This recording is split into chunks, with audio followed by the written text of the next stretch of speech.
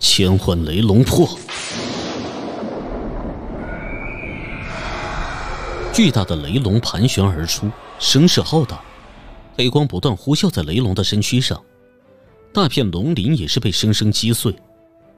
与此同时，雷龙便是仰天怒吼一声，龙首一抬，便是面对男子的摩罗黑光骨，龙口猛张，雷光疯狂凝聚，一道惊天的雷光。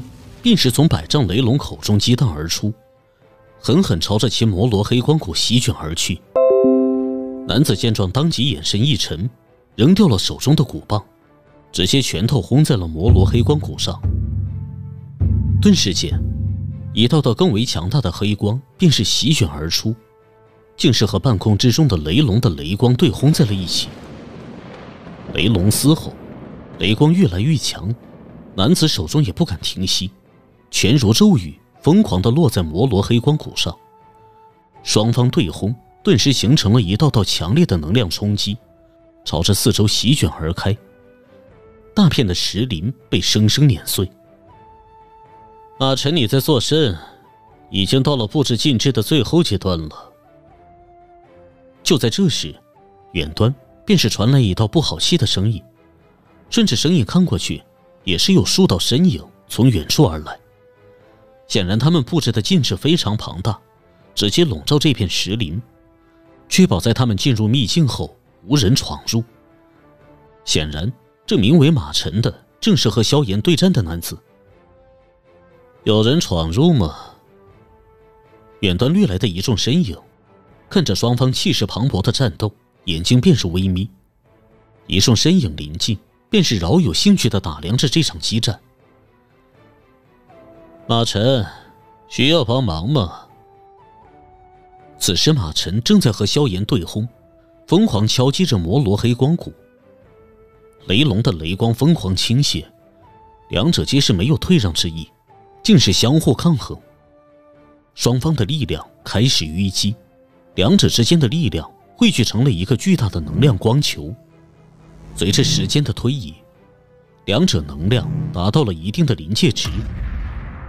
一声巨响，光球便是轰然炸裂开来，一股更强的冲击席卷开来，令周遭所有人都不得不动用体内的元气对这冲击进行抵御。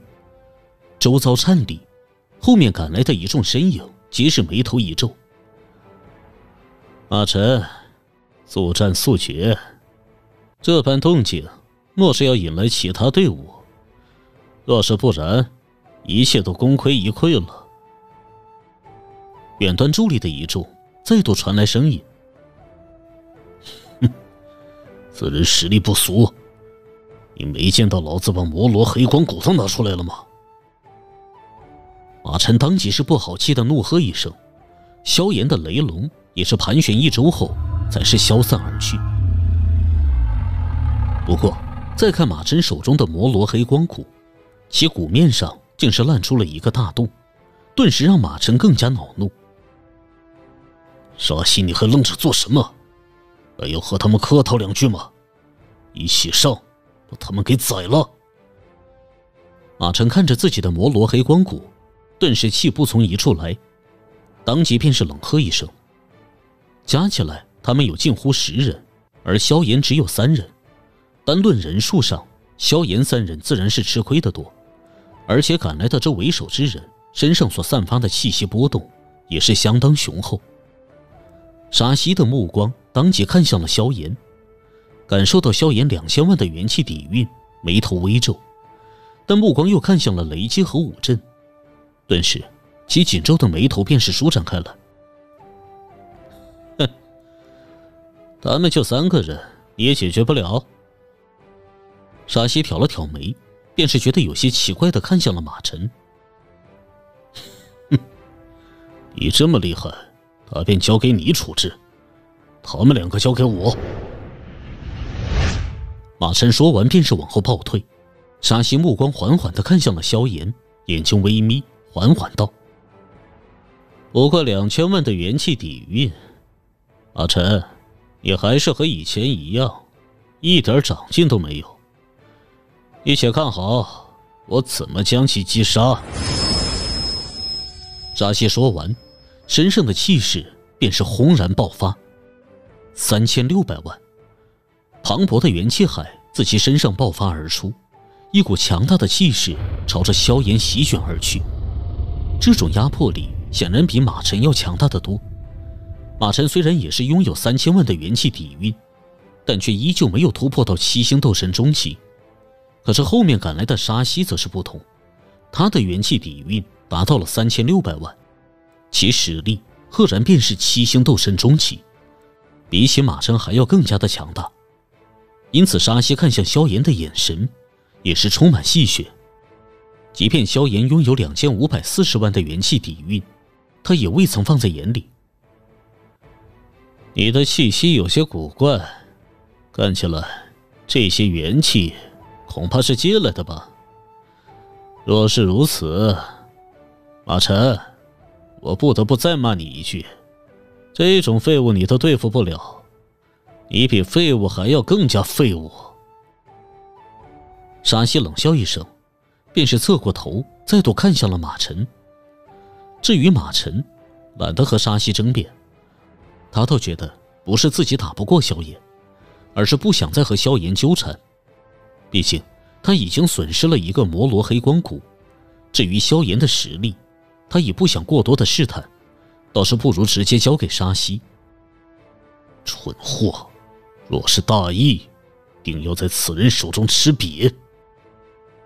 马晨低声喃喃道：“至于雷击和武真二人，马晨也没有着急动手，因为在他此刻的眼里，只要解决萧炎，雷击和武震不攻自破。”什么情况？打到一半中场换人？萧炎看着朝他掠来的沙溪。挑了挑眉，说道：“不好意思，让你见笑了。森罗大界有这种七星斗神的废物，真是惹人耻笑啊！”沙溪冷笑一声，萧炎好奇的打量着沙溪。显然，沙溪的言语是在挖苦马尘，觉得马尘无能，连萧炎都解决不了。哦，你不也只是七星斗神吗？你们二人在我眼中并无差别，你说他是废物，也不也是说你自己是废物？萧炎顺着沙溪的话语，直接挑起了导火索。